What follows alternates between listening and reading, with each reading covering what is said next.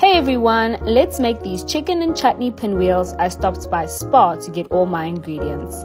So first with the chicken, make sure that your chicken is clean and pat dry and then season with some salt. Add your chicken to an oiled pan and cook until cooked through, flipping over once with the lid on top to make sure that the cooking process is quicker. Once your chicken is fully cooked, remove it from the pan and then give it a good shred. Then add in some chutney, some mayonnaise, and some black pepper. Mix this together. This is our filling complete, and then we'll also grate some cheese as a topping. On a floured surface, roll out your thawed puff pastry and then add in your filling along with the cheese topping. Roll this all up and using a serrated knife, cut it into 12 slices top with a bit more cheese and then bake and enjoy.